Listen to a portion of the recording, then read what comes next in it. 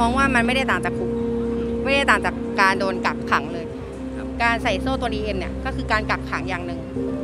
มันไม่ได้กักขังเราในร่างกายอย่างเดียว แต่กักขังถึงเรื่องจิตวิญญาณ จิตใจของเราที่โดนกักขัง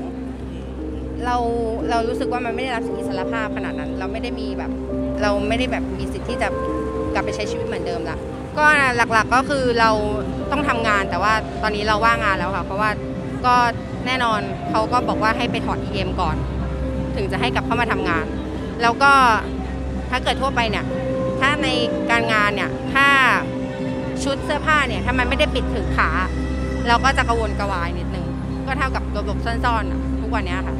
เราต้องเตรียมตัวที่จะตอบคำถามสังคมตลอด เหมือนเขาก็มองเราด้วยแบบ เฮ้ย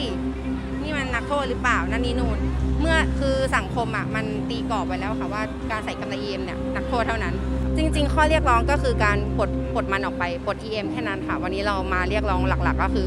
เราอยากที่จะปลดพันธนาการ EM โซ่ตัวดิจิตอลนั่นเอง เราคือแค่คิดต่างไม่จำเป็นต้องใส่โซ่ตัว EM จริง ๆ กระบวนการยุติธรรมหรือกระบวนการกฎหมายเนี่ย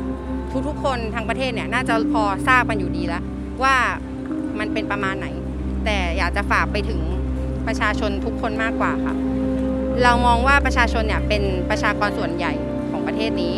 แล้วก็มีมีหน้าที่พูดถึงสิทธิและเสรีภาพ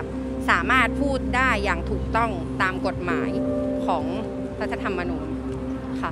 ก็ถ้าทุกคนร่วมกันพูดเนี่ยสมมติว่าประเทศเนี้ยมี 70 ล้านคน